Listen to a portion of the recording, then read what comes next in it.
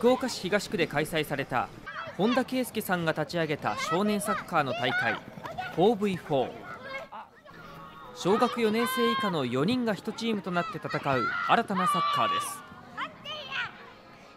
もともとは10歳以下の全国大会がないっていうことが、えー、理由、きっかけで、技術面を高めるには、やっぱ10歳以下でサッカーを、えー、しっかり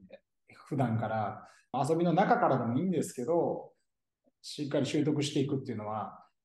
最も重要な、えー、年代かなというふうには思いますね。今回は模擬大会として行われ、試合時間は10分間でマイボールになったら20秒以内にシュートを打つという独自のルールがあります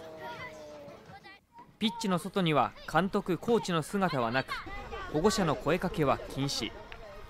戦術や選手交代は子どもたちだけで考えなければいけません。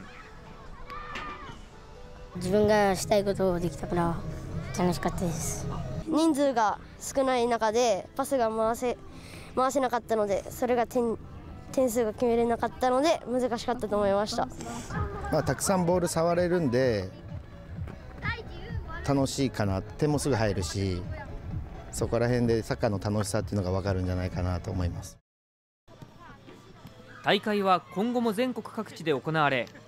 大会ごとに設定されたポイントをより多く稼いだチームが12月に行われる全国大会に出場できます